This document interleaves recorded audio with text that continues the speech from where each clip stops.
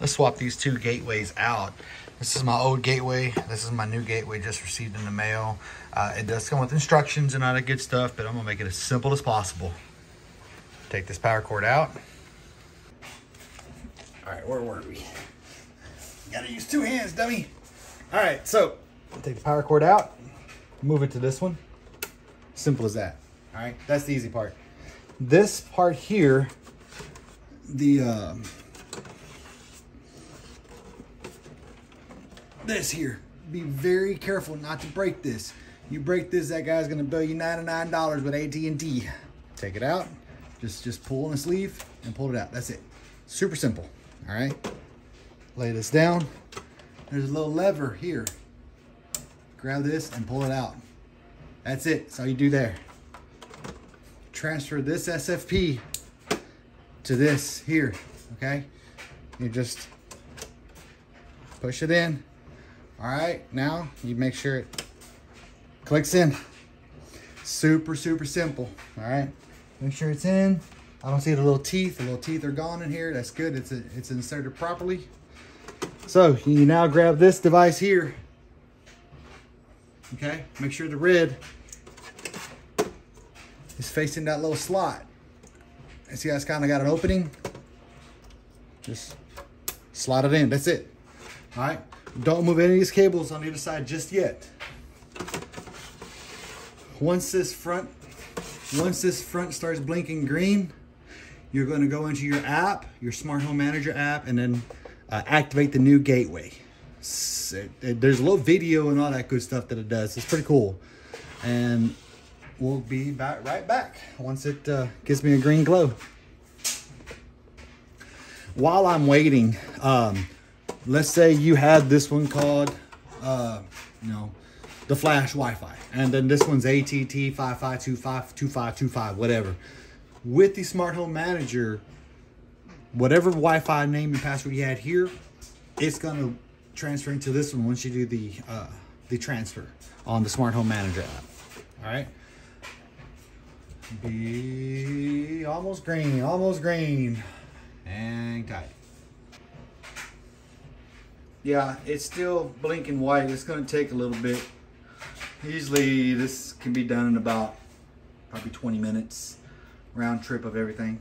I'll come back when it's blinking green. It's gonna be a fast green blink. And there we have it. It's blinking fast green. That is what we wanna see. That's what we wanna see.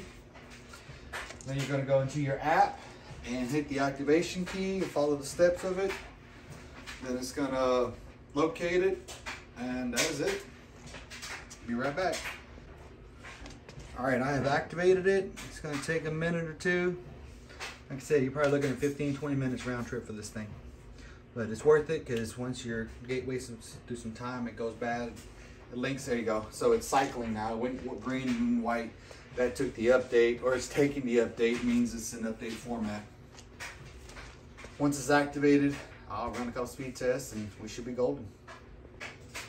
All right, so right now, it's that Wi-Fi that I see on my, on my Wi-Fi list it, the T3H, it's going to change from that into my Wi-Fi here in a minute, or the Wi-Fi I have selected for my home. That is when you know your service is completely activated. Then you can grab all the cables from the backside that you have on the other gateway and then plug them into your new gateway. So grab those cables back there and then you plug them into this gateway here and now it's blinking white, this is indicating to me that it's finally getting the, the, the settings of my previous gateway to my new gateway.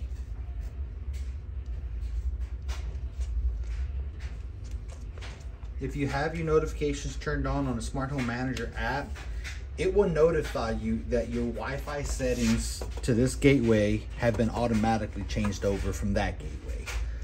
So all your devices should be linking up here shortly. And like I said, it's a good 20 minute round trip that I've been messing with this. Um, it's worth it because you'll get a new gateway and it's up to date. Software's up to date. No more Wi-Fi drops or anything. And just like that, everything is swapped over, everything's changed up. That you have. And that's it. Green is go. We're golden. Thank you very much for watching this. Oh, hold on, second phone line. There we go. Finally, I can get those phone calls that I wasn't caring about.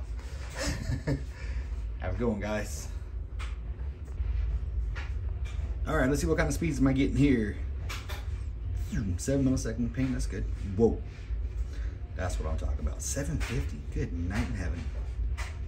That's awesome. That is super awesome. I have the 5,000 gig service here. But God bless me. Or 5,000 meg service, not 5,000 gig, 5 gig service. Uh, you'll never see those, but this is a Wi-Fi 6 speed, and that is pretty awesome, if I do say so myself. Worth it.